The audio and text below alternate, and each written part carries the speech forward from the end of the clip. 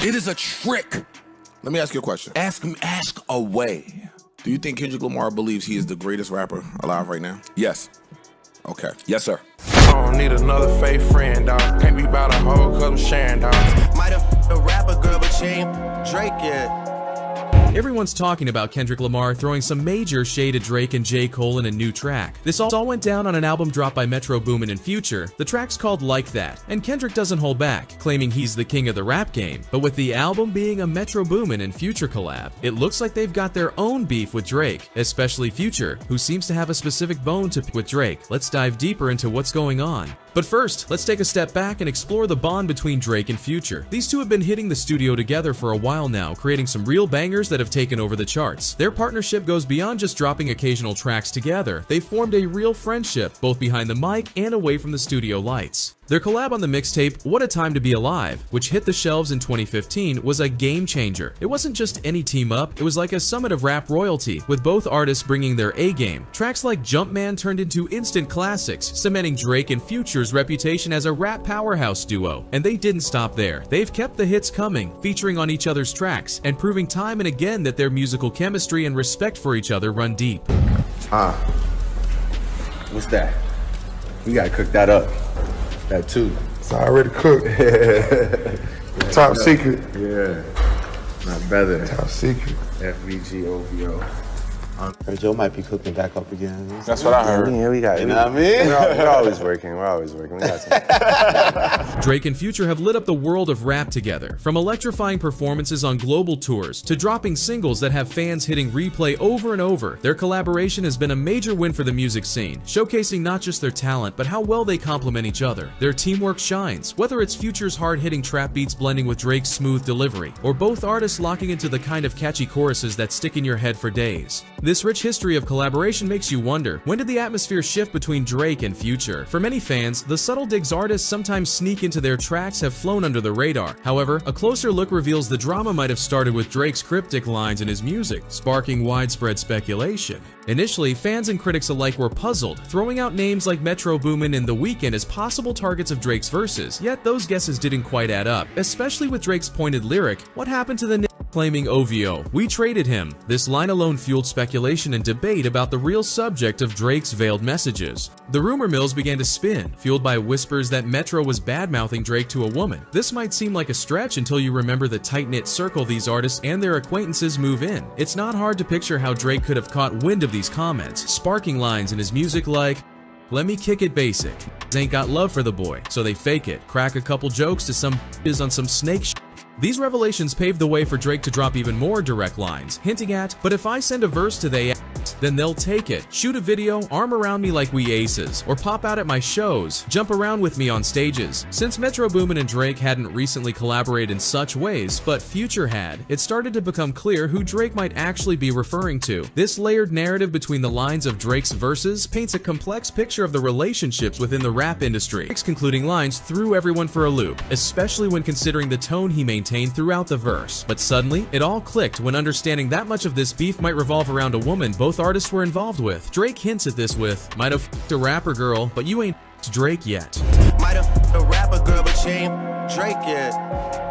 This glimpse into the drama unfolds a complex story of intertwined relationships, potential misunderstandings, and maybe even clashing egos within a closely connected music industry. As these subtle hits accumulate, they sketch out a narrative of a friendship and working relationship that has shifted from its once collaborative and supportive nature to something more strained, both personally and professionally, between Drake and Future. The intrigue doesn't stop there though. Fans are now dissecting the lyrics and the deeper meaning behind the tracks on Future and Metro Boomin's album, We Don't Trust You. While Kendrick Lamar's direct approach has been the talk of the town, there's a growing suspicion that the album also contains veiled digs at Drake. Right from the get-go, Future comes out swinging in the opening track, suggesting a possible fallout with Drake. Future's lyrics are cutting, painting a picture of someone who acts like a number one fan, but also engages in sneak dissing and pillow talking like a fed, phrases that fans are speculating might be pointed at Drake. The line, can't be about a hoe, cause we sharin', dog, seems particularly pointed, almost as if it's speaking directly to Drake, flipping his own lyrics back at him. The entire album is rife with what could be indirect shots at Drake, leaving fans to piece together the puzzle of what's really going on behind the music. I don't need another fake friend, dog. Can't be about a hoe, cause I'm sharing, dog. The buzz about a potential feud isn't coming out of nowhere. There's been talk that things between Drake and Future started getting tense after Drake chose to focus on his collaboration album with 21 Savage, Her Loss. To stir the pot even more, Metro Boomin seemed to have his own beef with Drake. This became apparent last December when Metro shared his thoughts on the music industry, hinting that Her Loss getting more spotlight than his projects felt unfair. Drake responded to Metro with some cryptic comments, but the conversation did not end there. Even though Metro later attempted to dismiss the possibility of any real beef on social media, the situation remains unclear, leaving fans to read between the lines. Given Future and Metro's close relationship and history of working together in the studio, it's not unreasonable to believe Future is channeling both his and Metro's grievances in his verses. This drama has deep roots, as Future was reportedly kicked off Drake's tour for making some less than stellar comments about Drake's album. They appear to have smoothed things out, collaborating on tours and tracks after that. However, the most recent lyrics and exchanges hint at some underlying issues that may not have been fully addressed. So, We Don't Trust You could be more than just a catchy album title. It could indicate a deeper conflict in the rap world, particularly among future Metro Boomin and Drake. As fans, we're left to sift through the lyrics of their songs, social media posts, and old interviews, hoping to piece together the true story behind what could be one of the most complicated disputes in the rap game today. With all of this drama unfolding, the rumor mill is working overtime, pulling in other big names from the rap scene. Take, for instance, Rick Ross popping up on this album with Future and Metro Boomin. This move has fans and critics buzzing with even more speculation, especially when you think about the musical history Ross shares with Drake. They've teamed up in the past, delivering tracks that fans couldn't get enough of, but now there are whispers suggesting Rick Ross might be throwing shade at Drake, adding another layer of intrigue by featuring on an album that seems to be subtly targeting Drake. These rumors have everyone on edge as they try to figure out what is really going on behind the scenes. Rick Ross's involvement is especially surprising given his previous good relationship with Drake. Everyone is wondering what's going on here. Has the dynamic changed? Ross's appearance on an album that is part of this brewing storm alludes to complex relationships and alliances in the industry, leaving fans wondering about the true nature of these connections and how they evolve over time in response to conflict. And Rolling Oaks, and I heard it's a trap house. I'm, They said Rick Ross a billionaire. yeah, he ain't no billionaire. He over exaggerate everything. Y'all better stop believing that he do shit for the ground. And Drake, I want you to call me because I got something to tell you personally.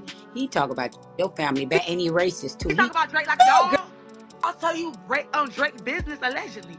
Cause he pillow talk with me every all through the night when he wants sandwiches and wake up. His sleep pattern out.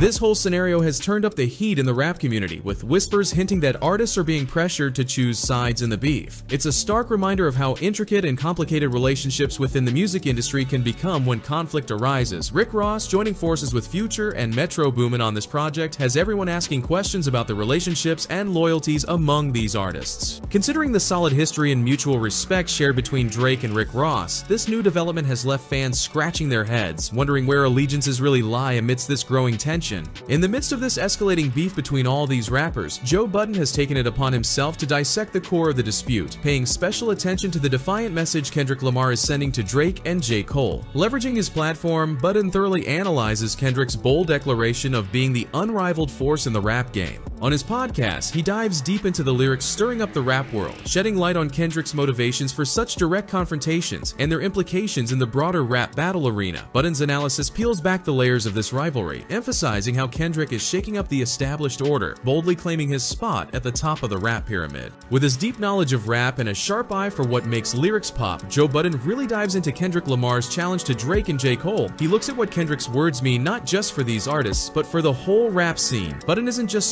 scratching the surface. He's getting into the strategy behind Kendrick's words and how they might shake things up between him, Drake, and J. Cole. Listening to Budden, you get to see the bigger picture of why Kendrick's claiming he's the best matters so much. So, there you have it, a deep dive into the latest rap drama. Kendrick Lamar has thrown down the gauntlet, calling out Drake and J. Cole in a bold move. Meanwhile, the drama between Future and Drake seems to hint at some old tensions, and figures like Rick Ross and Joe Budden, they're right in the mix, each adding their own flavor to the story. Now, we're left with some big questions. Will Drake hit back with his own diss track? What about J. Cole? Is this the start of something bigger, or will things cool off? And really, what kind of music will come out of all this drama? Everyone's waiting to see what happens next, guessing and hoping. What's your take? Do you think this beef will keep growing, or will these artists work it out? Drop your thoughts down below.